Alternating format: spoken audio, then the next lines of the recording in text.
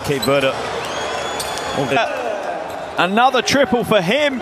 His play. Making the right passes, finding the open looks and the movement. Bird will take possession. Long pass. Oh, nice hesitation. And a two-handed poster. School.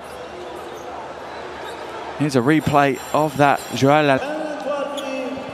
And here's the step back three from Joel Almeida.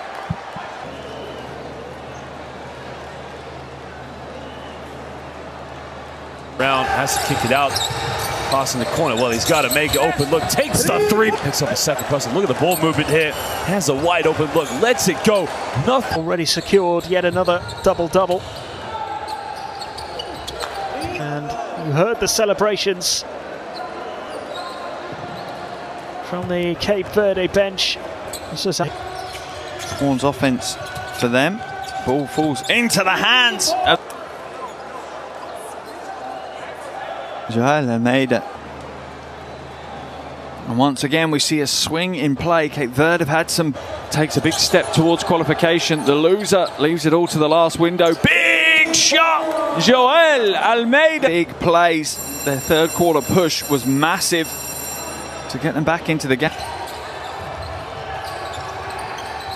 Almeida goes to Egypt have done well to maintain their advantage after snatching the lead at the end of the first quarter. Ejected. Now in transition, what do we have? Under the basket, lays it up. today so far.